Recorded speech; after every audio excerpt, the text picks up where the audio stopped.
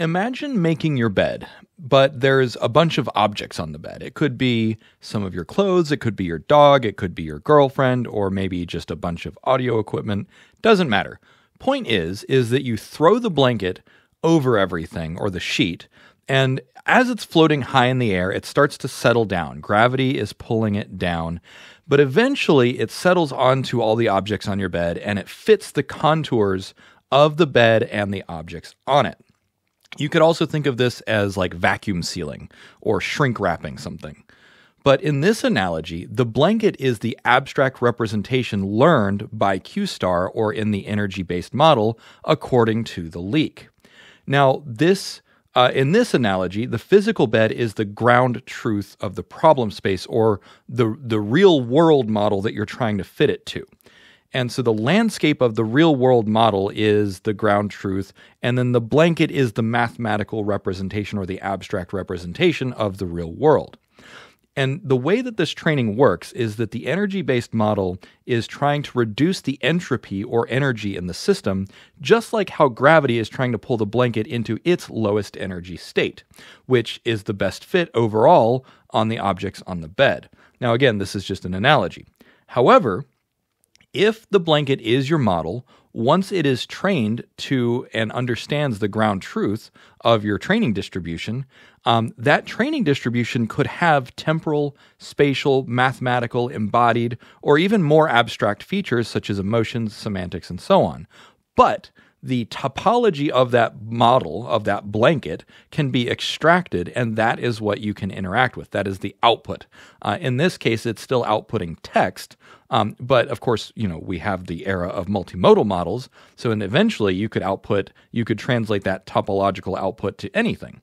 Now, the topology is the simple mathematical map or representation of the abstract representation that you have trained on.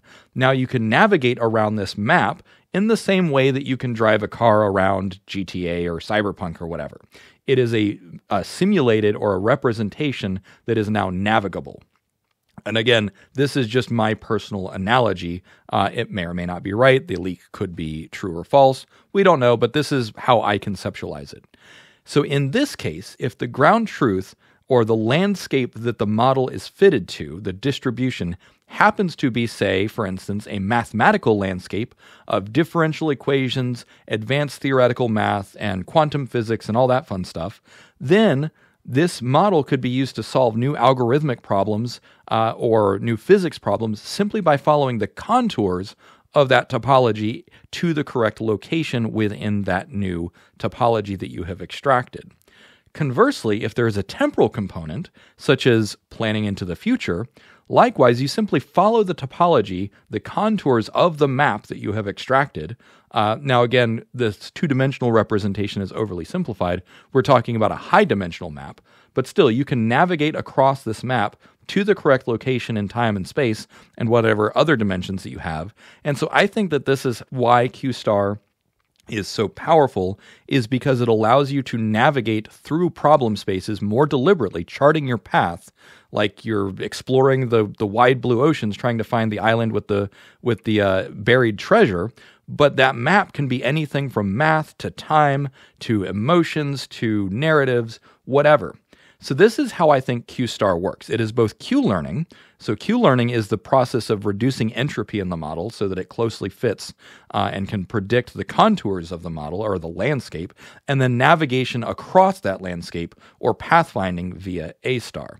Now, again, this is pure speculation on my part, um, but I thought that this was really compelling. Um, and uh, having discussed the leak with uh, Claude, uh, Claude says, "Yeah, this is a compelling enough model." So you know, uh, take it take it for what it is. Take it with a grain of salt. But let me know what you think in the comments. Thanks.